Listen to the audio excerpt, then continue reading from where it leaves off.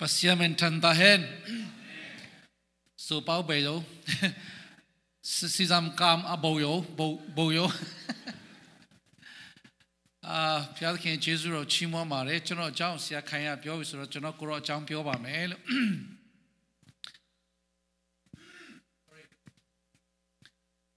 ဟာလေလုယာ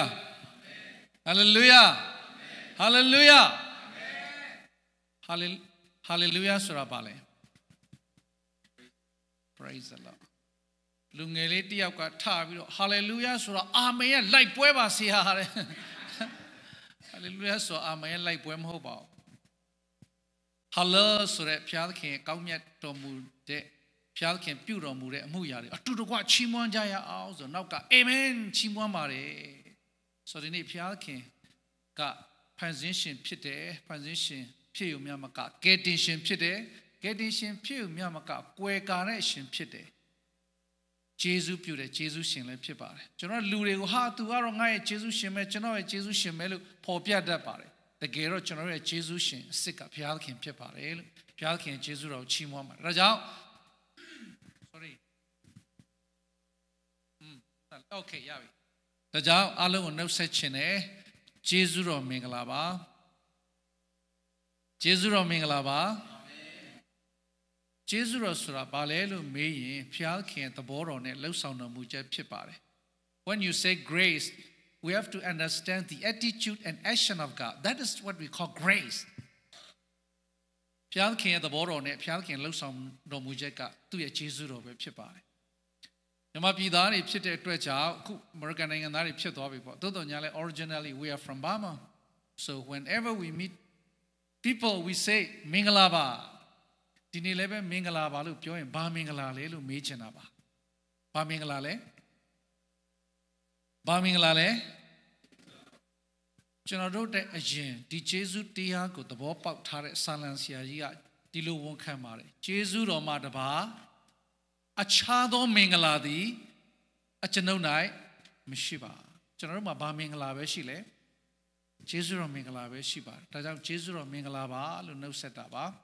ဘုရားသခင်ဂျေဇုတော်ကလုံလောက်ပါတယ်ဘုရားသခင်ဂျေဇုတော်ကလုံခြုံပါတယ်လုံလောက်ရဲ့လုံခြုံတော်မူသောဂျေဇုတော်နဲ့မင်္ဂလာပါလို့နှုတ်ဆက်ပါတယ်အာမင်ဘုရားသခင်ဂျေဇုတော်လင်းလံမှုမရှိပါဘူးဘုရားသခင်ဂျေဇုတော်လွဲချော်မှုလည်းမရှိပါဘူးလင်းလံမှုမရှိတဲ့လွဲချော်မှုမရှိတဲ့ဘုရားသခင်ဂျေဇုတော်နဲ့မင်္ဂလာပါလို့နှုတ်ဆက်ပါတယ်ဒီနေ့ဘုရားစကားကိုတူတူကခံယူကြရအောင်လောကကြီးကမှောင်မိုက်နေပါတယ်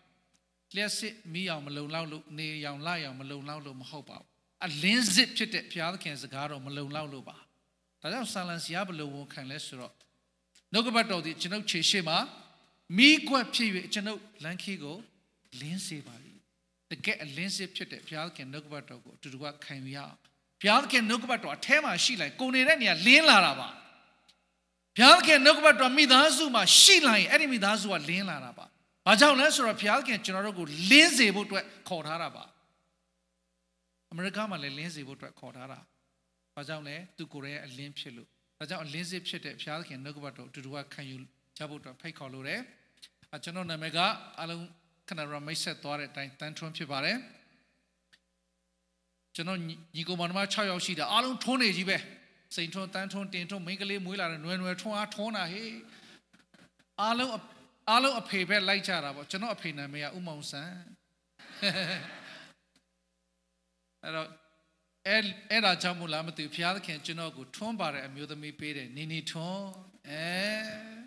အဲ့ဒါနဲ့ကျွန်တော်လည်းကိုမွေးလာတဲ့သားသမီးတွေကြတော့ဘယ်ရမလဲမှဲ့ထဲလိုက်တာအကျဉ်းနာအနီရောင်ရင်းရင်ထွန်းကြောက်အပ်တဲ့ချိန်ရောက်တဲ့ခါကျတော့ဆီယာမကပြောတယ်ရှင့်သမီးနာမည်ကရှေလုံးနဲ့အကွက်ထဲမှာမဆန့်ဘူးဖြုတ်ပေးဦးနဲ့အေးအဲ့ဒါဆိုလဲအနီအောင်ဖြုတ်လိုက်ပါလို့အခုတော့အကျဉ်းနာရင်းရင်ထွန်းခဏဆက်ခိုင်ပြောတယ်လို့ပေါ့မလေးရှားမှာရှိပါတယ်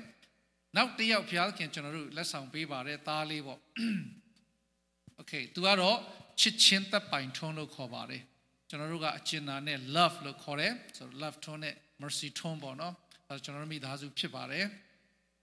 ကျွန်တော်ရဲ့မိခင်တင်းတော်ပြောပါဆိုလို့ရှိရင် Chin Baptist Church ရန်ကုန်ဖြစ်ပါတယ်ရန်ကုန်မှာရှိတဲ့ဘာကီယာလမ်းပေါ်မှာရှိတဲ့ချင်းနဲ့ချင်းခရစ်အသင်းတော်ကကျွန်တော်အသင်းတော်ဖြစ်တယ်အဲ့ဒီအသင်းတော်မှာ assistant pastor အနေနဲ့10နှစ်လောက်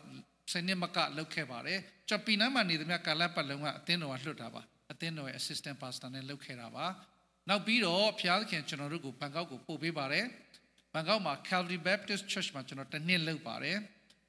အာနောက်2018ကစပြီးတော့ကျွန်တော်တို့သာသနာလုပ်ငန်းပြန်စပါတယ်အဲ့ဒါကတော့ Grace Mission Community လို့ခေါ်ပါတယ်ကျေးဇူးတော်သာသနာရိပ်မြုံပေါ့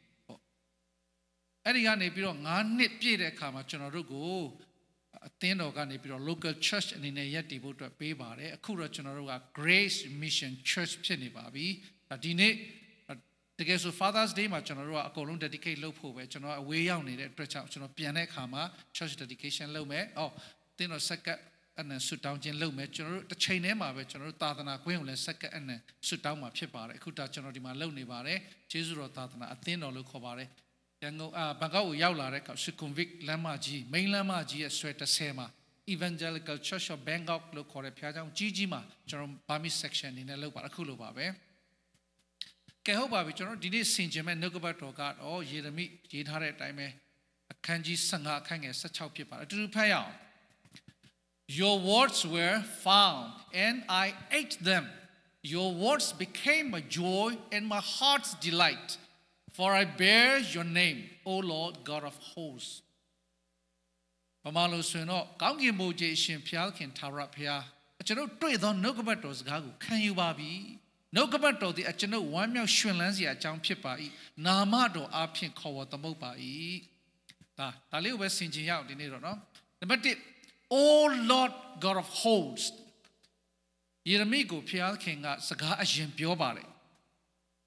ဖျားခင်ပြောတဲ့စကားကိုယေရမိနားလည်ပြီးခံယူပြီးတဲ့နောက်ပိုင်းမှာ तू ကဘာလုပ်လဲဆိုတော့ဖျားခင်ထံကိုပြန်ပြီးတော့ပြောတာဖြစ်ပါတယ် O Lord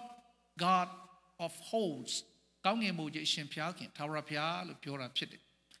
ဆိုတော့ဒီဟာလေးကိုဆင်ခြင်တဲ့အခါမှာနံပါတ်1ယေရမိကဘုရားစကားကိုကြားရင်ဘာလို့တက်လဲဆိုတော့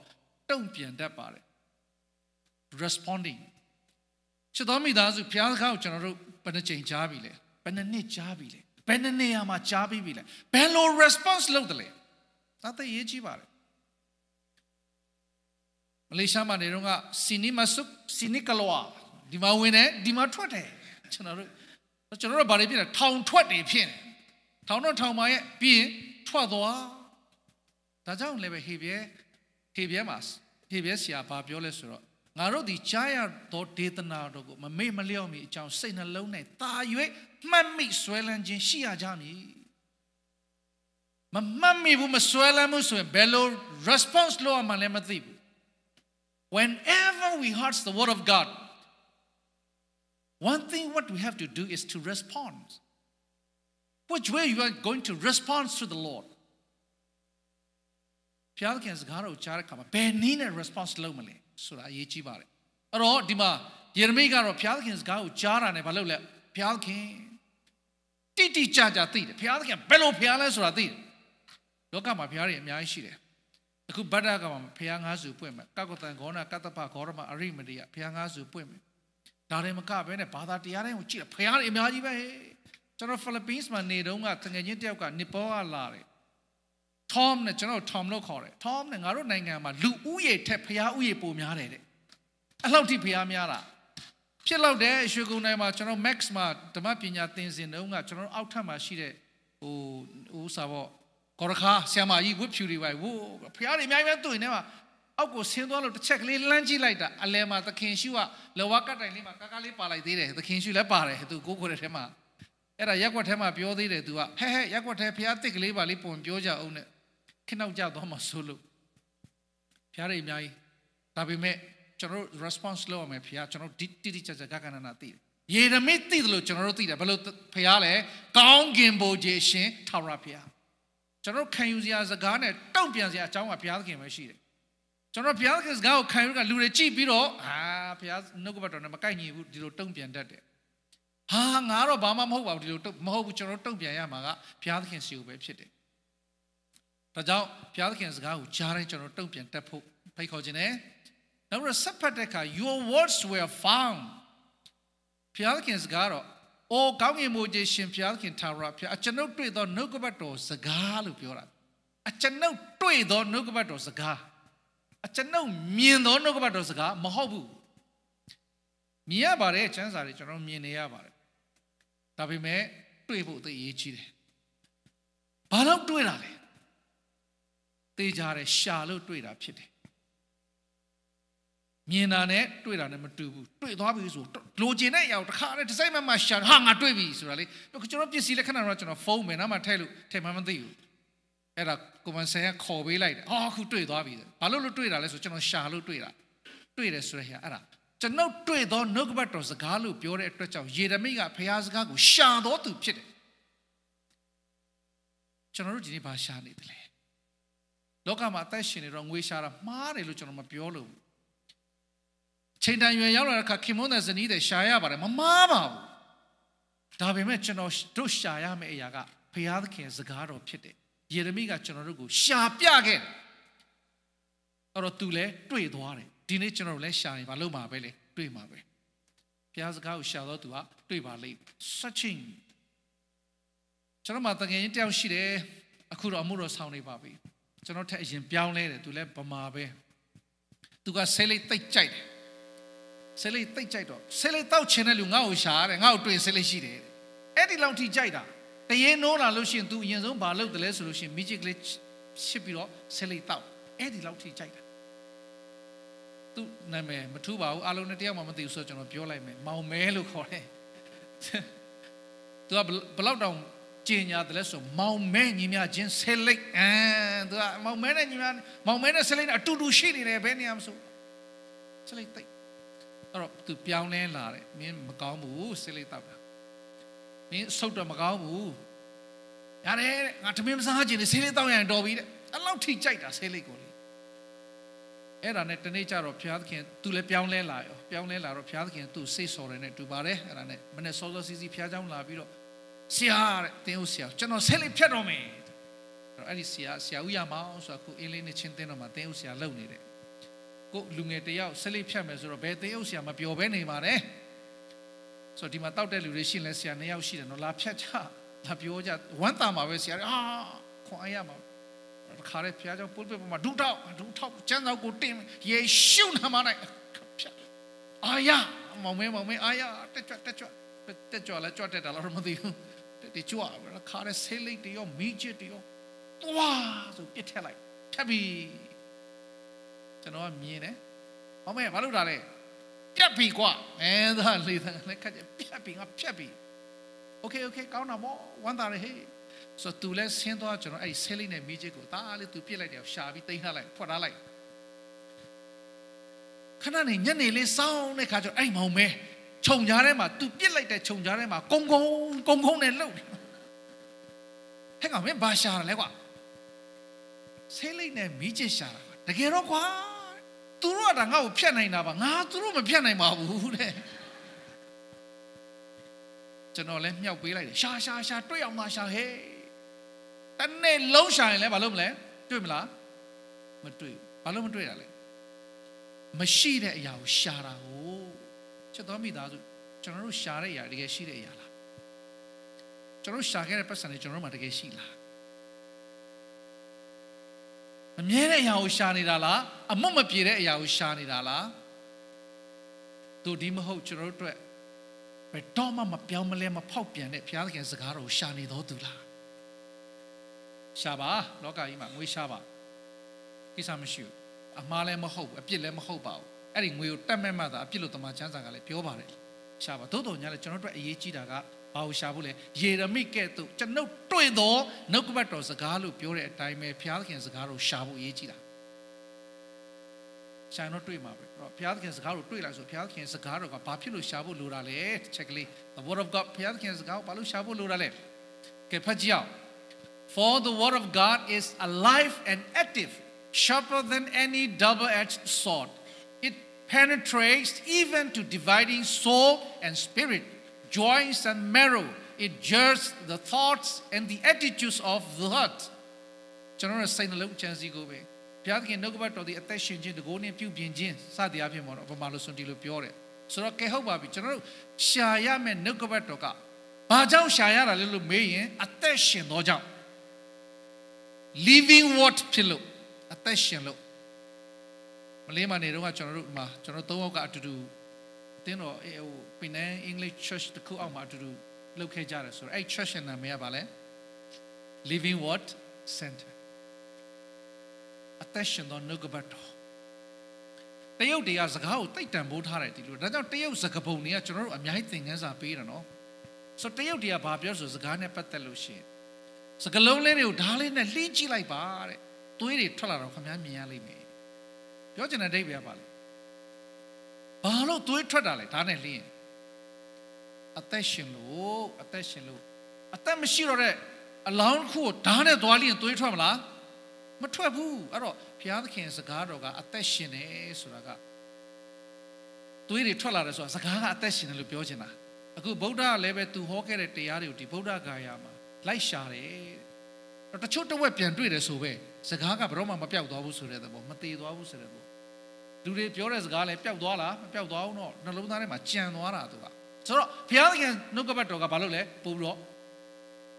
ရှာဖွေစရာဖြစ်တယ်အသက်ရှင်သောကြောင့်အသက်ရှင်တယ်ကဲဟုတ်ပါပြီအသက်ရှင်တယ်ဆိုတော့ဘုရားသခင်နှုတ်ကပတ်တော်အသက်ရှင်တယ်ဆိုတဲ့လက္ခဏာသက်တရားဘယ်မှာလဲသခင်ရှုကဥပမာလေးတစ်ခုပြောတယ်အဲ့ဒီဥပမာဘာလဲဆိုတော့ မျိုးကျဲတဲ့သူတယောက်ကလက်ခွင်းထဲမှာထွက်ပြီးမျိုးကျဲတယ်တဲ့တချို့မျိုးစေ့ကကြောက်ပေါ်မှာကြားတယ်တချို့မျိုးစေ့ကဟိုမှာကြားတယ်ဒီမှာကြားတယ်စူကြားထဲမှာကြားတယ်ပေါ့နောက်ဆုံးမျိုးစေ့တစ်ခုသူပြောတယ်ဘယ်လိုမျိုးစေ့လဲကောင်းသောမြေမှာကြားတဲ့မျိုးစေ့ဖြစ်တယ်အဲ့ဒီကောင်းသောမြေမှာကြားတဲ့မျိုးစေ့ကြတော့အပင်ပေါက်ပြီးတော့ဘလောက်တိုးပွားတယ်ပြောလေအစ30အစ60အစ100ပွားများတယ်ကျွန်တော်တို့ကအဲ့ဒီအစ30အစ60အစ100ဘယ်မှာပွားခိုင်းလဲ အလူငွေထဲမှာပွားခိုင်းတာလူငွေစက်ကကြပါစို့ဆိုလူငွေအိတ်ကလေးကင်တော့ဖျားခင်ဒီနေ့ပါဝင်တဲ့လူငွေတော့နဲတော့နဲပါတယ်ဒါပေမဲ့လည်းအစ30 60တရားပွားများစေပါတဲ့ဘယ်တော့မှလူငွေမပွားများဘူးပွားများရင်တော့များများထဲဖို့ပဲအဲ့ဒါများများထဲတော့များများပွားမယ်ဒါပဲရှိတယ်အလူငွေအသက်မှမရှင်တာအသက်ရှင်တာကဘုရားစကားအသက်ရှင်တဲ့အတွက်ကြောင့်အစ30 60 100ပွားတာဘယ်တော့မှညင်းလို့မရဘူး ဘုရားစကားကျွန်တော်နှလုံးသားထဲကျလာတဲ့အခါဆရာဆောင်ဝင်းကဝင်ငှလိုက်တာပဲ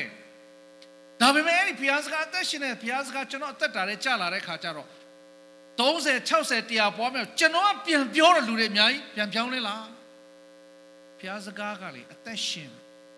အသက်ရှင်တဲ့အတွက်ကြောင့်ပွားများတယ်ဒါကြောင့်အသက်ရှင်ပြီးပွားများတဲ့ဘုရားစကားကိုကျွန်တော်ရှာဖို့ယေရမိကကျွန်တော်တို့ကိုဥပမာပေးခဲ့တာသူကိုယ်တိုင်လည်းရှာခဲ့တာရှာပါကျွန်တော်လည်းရှာမယ် ဒါပေမဲ့ကျွန်တော်တို့အရေးကြီးအရေးကြီးဆုံးရှာရမယ့်အရာကဘာလဲ living an active word ဘယ်အတန်နေထွက်နေလဲမသိကြည့်ချက်လောက်ကြအောင်နော်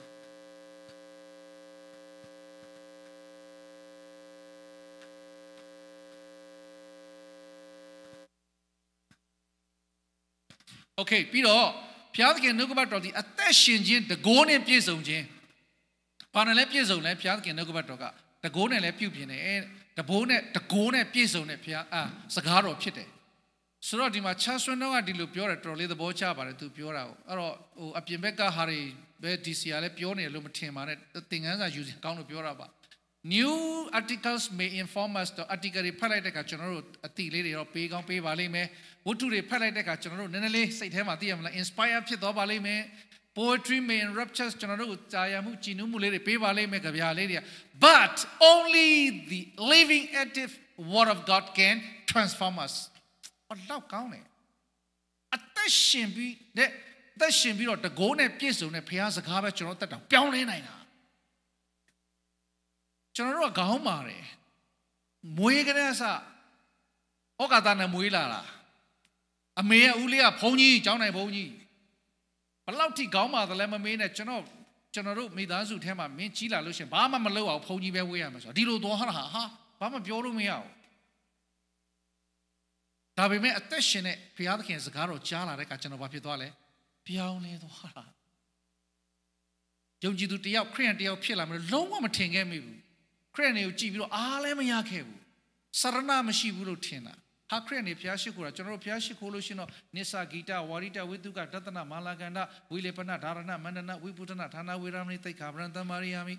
ကျွန်တော်တို့ဘုရားရှိခိုးငြိမ်ငြိမ်လေးနဲ့ဒူလေးတုပ်ပြီးတဏခါမလိမ့်မအောင်တချင်းမဆိုးပါဘူးပန်းမပန်းပါဘူးဒီလိုဟာဒါပေမဲ့ခရစ်နေဘုရားရှိခိုးတော့ဘာပါလဲ drum တောင်ပါလိုက်သေးတယ် stage show လို့လို့ဘာလို့လို့ ਨੇ ဟာမခိုက်ပါဘူး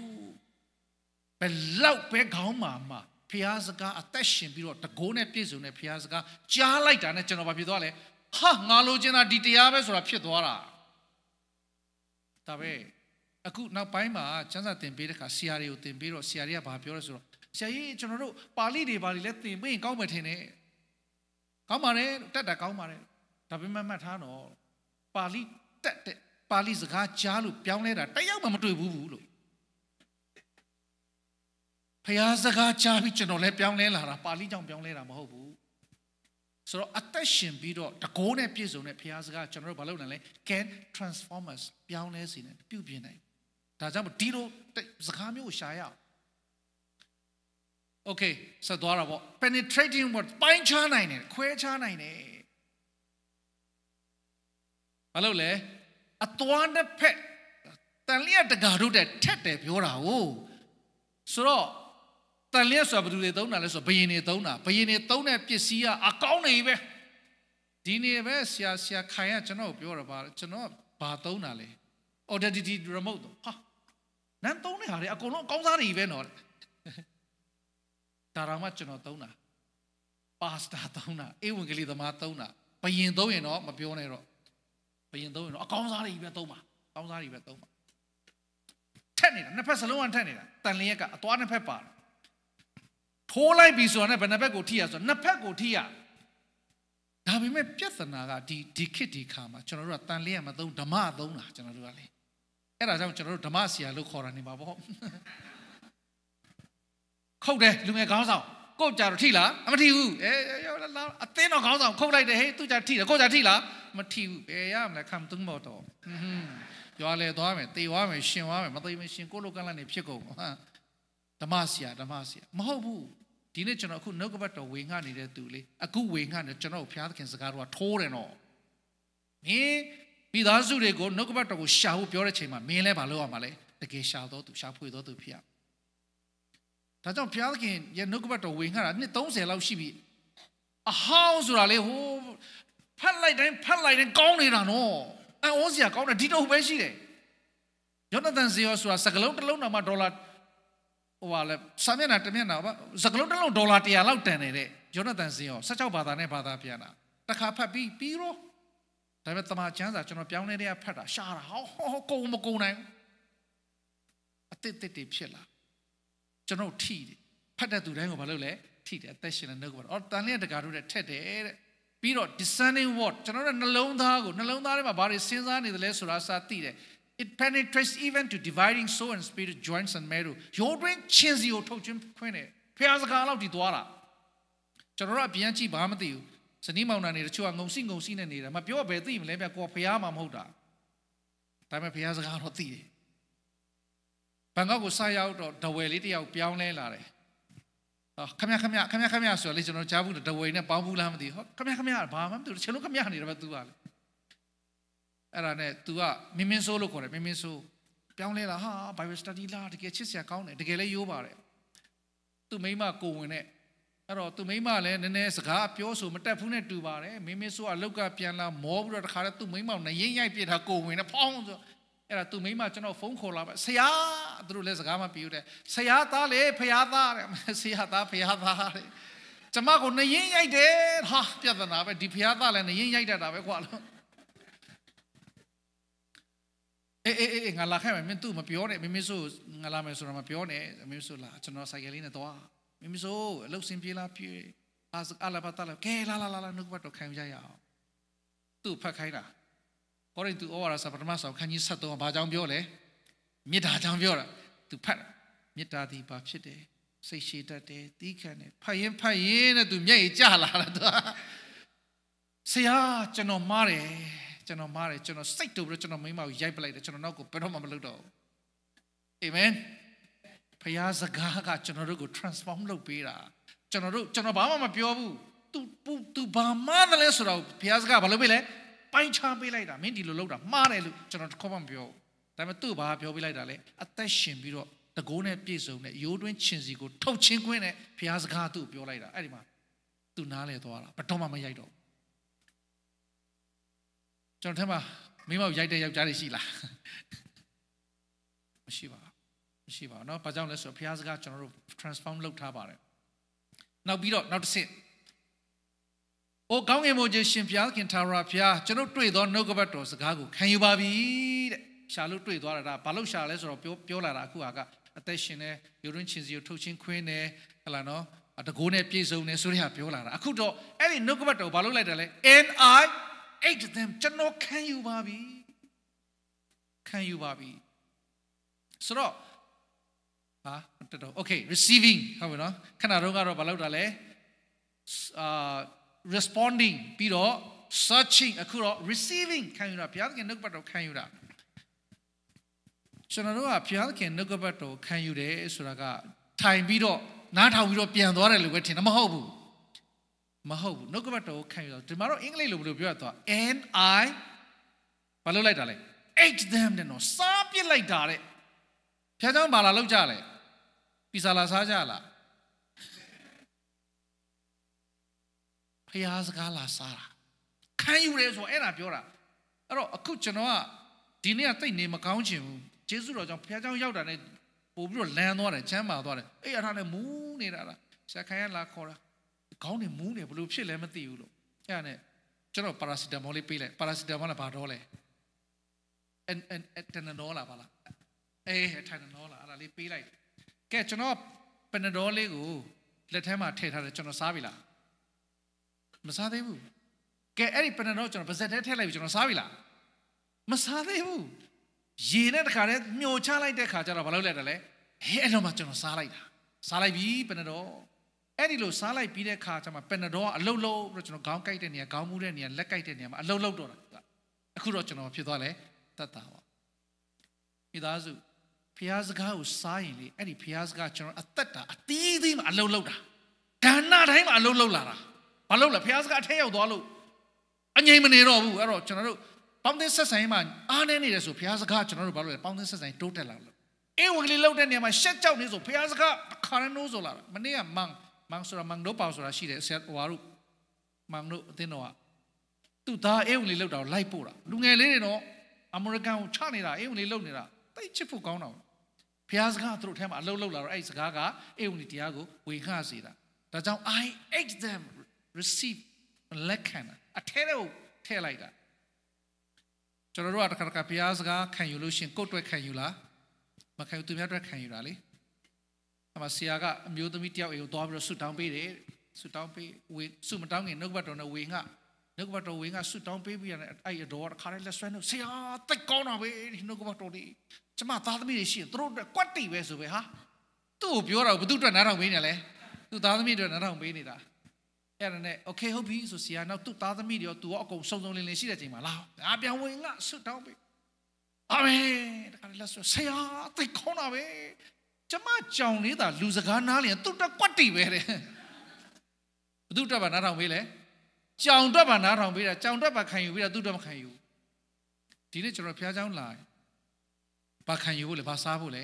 ခံယူပြီးပြန်သွားအာထဲထဲမှာအလုံးလုံးလာထဲထဲရောက်သွားတော့မှတခါနဲ့အသက်တိုင်ခန္ဓာအသီးသီးမှာဖျားစကားအလုံးလုံးဒီလိုပဲယေရမိလည်းဒီလိုသက်ရှင်နေတာကျွန်တော်တို့လည်းဒီလိုသက်ရှင်နေရတာပဲ sorry ဆိုတော့ဒါကြောင့်မလဲဖျားတင်စကားတွေကိုကြည်ညိုသောနှလုံးနဲ့ခံယူပါတဲ့ဒါဟိုစာအာရှီယာကုတ်ကပြောတာဖြစ်ပါတယ်အဲ့ဒီလိုခံယူလိုက်ပြီဆိုရင်ကဖက်ကြောက်ဖျားစကားထဲရောက်တော့ဖျားစကားကိုစားလိုက်ပြီဆိုရင်ဘာဖြစ်သွားလဲ your words became my joy and my heart's delight အဲ့ဒီတော့မှကျွန်တော်တို့ကဘာကိုရော့စကားဒီကျွန်ုပ်ရွှင်လန်းဝမ်းမြောက်စရာအကြောင်းဖြစ်ပါ၏ ဖះစကားကြားပြီးတော့ခေါင်းငိုက်ဆိုင်ချစိတ်ညစ်ပါတယ်ကွာဆိုဆပင်မွေးထောင်ကုတ်ပြီးဖះเจ้าနေပြန်သွားလူတွေ့ဘူးလားတွေ့ဘူးလားအဲ့မျိုးလူဖះစကားကြားလိုက်တော့ဟောစိတ်သက်ကြစရာကြီးကွာစိတ်ညစ်တယ်ကွာဆိုတာပြန်သွားလားမပြန်ဘူးအမှန်တကယ်ဖះစကားစားပြီးဆိုဘယ်လိုပြန်သွားလဲမြောက်ကြွမြောက်ကြွနဲ့ပြန်သွားမှာကျွန်တော်တို့ကဟာတကြွခါဟာဟုတ်တယ်ဟဲ့ဆိုတာပြန်သွားတကယ်ဖြစ်တာဘုရားစကားလေဘုရားစကားကြားလိုက်လို့ရှိရင်လန်းဆန်းတော့တခါအားဖြစ်သွား ဒါကြောင့်ကျွန်တော်တို့ဘုရားစကားဘာပေးလဲ rejoicing ဝမ်းမြောက်မှုပေးတယ်ရှင်လန်းမှုပေးတယ်အဲတိတ်တန်ဖို့ရှိတယ်ဘုရားစကားတော့အသက်ရှင်ပြီးနော်တကယ်ကိုကျွန်တော်တို့ယူရင်းချင်းစုထုတ်ချင်းခွင်းတယ်ကျွန်တော်ပြောင်းလဲနိုင်တဲ့ဘုရားစကားအစ30 60 100ပွားများတဲ့ပွားများနိုင်တဲ့ဘုရားစကားကကျွန်တော်တို့ကိုဝမ်းမြောက်ခြင်းကိုလည်းပေးတဲ့ဘုရားစကားဖြစ်တယ်အာမင်ဘုရားစကားကြားပြီးတော့စိတ်ညစ်စရာအကြောင်းမဖြစ်ဘူးရှင်လန်းစရာအကြောင်းခွာရစရာအကြောင်းဖြစ် ကဲပြီးတော့မှ for i bear your name နာမတော်ကိုဘာလို့တယ်လဲနာမတော်ဖြင့်ကျွန်ုပ်ကိုသမုတ်ပါ၏ခေါ်ပေါ်ပါ၏လို့ပြောတယ်ဆိုဘုရားစကားဘုရားစကားကိုရှာတယ်။အော်ဘုရားသခင်ကလည်းတုံ့ပြန်တယ်။ဘုရားသခင်စကားကြားတော့ဘုရားစကားကိုလည်းထက်ရှာတယ်။ထက်ရှာပြီးတော့ဘုရားစကားကိုလည်းစားတယ်။အဲ့ဘုရားစကားသူဝမ်းမြတ်မှုလည်းပေးတဲ့ခါမှာတဲ့လူတွေကယေရမိလို့မခေါ်တော့ဘူးတဲ့ဘယ်သူလို့ခေါ်လာလဲ။သူ့နာမည်ကို တည်ဆောင်တော်သူအနေနဲ့ဒါဘုရားလူလို့ခေါ်လာ။ဆိုတော့ကျွန်တော်တို့ကဘာလို့တည်နေရလဲ။ဘုရားရဲ့နာမတော်ကိုချက်လုံးနေအဘုရားနာမတော်ကိုတည်နေရတာဖြစ်တယ်။အခုကျွန်တော်တို့ချင်းလူမျိုးတွေကြီးပဲဆက်ခိုင်ဘယ်လိုခေါ်လဲဆက်ခိုင်လေဆက်ချွန်ခိုင်ဘာပါလို့ခေါ်လဲနွန်ပီပါလို့ခေါ်တာနွန်ပီပါလို့ခေါ်တာဟုတ်တယ်မလား အကြီးဆုံးကနွန်ပီမလားနွန်ပီပါကျွန်တော်ကြတော့အကျဉ်းသာပါရတယ် mercy ပါရတယ်အဲ့လိုခေါ်တယ်ဆိုတော့တန်ထုံးလို့ဆရာတန်ထုံးလို့မခေါ်ဘူးဘယ်လိုခေါ်လဲ mercy ပါလို့ခေါ်တယ်အဲ့တော့ကျွန်တော်ကဘယ်သူနာမည်တည်သွားတာလဲ mercy mercy ရဲ့နာမည်တည်သွားတာ so min sa song tu lo khora ba flam flam flam to kan sim le jute kan fa le min thon nan kou mi kha ဆိုတော့ကျွန်တော်လည်းဒီလိုပဲဘုရားစကားကိုကြားပြီးတော့ဘုရားစကားကိုစားတဲ့လူက သွားတဲ့နေရာတိုင်းမှာဘုရားနာမတော်တည်သွားတာအဲ့လူတွေကတွေ့ပြီးတော့ဟာဒီလူကငါတို့နဲ့မတူဘူးဟေးဘုရားနာမတော်တည်ဆောင်တော်သူကျွန်တော်တို့ဖြစ်သွားတာဘလောက်ကောင်းလဲကျွန်တော်တို့ဘုရားခင်ရဲ့စကားတော်ကကျွန်တော်တို့ကိုသူ့ရဲ့နာမတော်ကိုထင်ရှားစေဖို့ဘုရားသခင်စကားတော်ကိုရှာဖွေတော်သူဖြစ်ဖို့ကောင်းတယ်လို့โอเคနောက်ဆုံးဒါလေးနဲ့ညီကုန်းချုပ်ရအောင်ဟုတ်နော်ကဲနံပါတ်1ဘုရားသခင်စကားတော်ကိုကြားလို့ရှိရင်ဘာလုပ်ဖို့ရှိလဲ response တုံ့ပြန်ဖို့ရှိပါတယ်တစ်ချိန်တည်းမှာပဲတုံ့ပြန်ပြီးပြီဆိုတော့နောက်ထပ်ဘုရားဘာငါ့ကိုပြောမလဲပြမလဲပြင်ပေးမလဲဆိုတော့ရှာဖွေဖို့လဲလိုတယ်ပြီးတော့မှဘုရားသခင်နှုတ်ကပတ်တော်ကိုတွေ့ရှိတဲ့နှုတ်ကပတ်တော်ကို receive စားလိုက်ဖို့လဲလိုတယ်စားလိုက်တော့မှထဲရောက်ပြီးတော့လူကဘာဖြစ်လာလဲဝမ်းမြောက်လာတာဖြစ်တယ်ပြီးတော့မှအဲ့ဒီဝမ်းမြောက်ခြင်းတွေနဲ့အတူသွားလျာလာလျာမှာဘုရားရဲ့နာမတော်ကိုထင်ရှားပြီးတော့ဘုရားသခင်နာမတော်ကိုတည်ဆောင်တော်သူနဲ့အသက်ရှင်နေရတာဖြစ်တယ် ဆိုတာလေးကိုအနေငယ်မေတ္တာနဲ့ဝေငါတိဆောက်ပေးလို့တယ်တယောက်စီတိုင်းစစ်မှန်တော်မူသောအသက်ရှင်၍တကိုးနဲ့ပြည့်စုံတော်မူသောဘုရားသခင်နှုတ်ကပတ်တော်ကိုအမှန်တကယ်ဒီဇိုင်းမမရှာဖွေတော်သူများဖြစ်ပါစေ။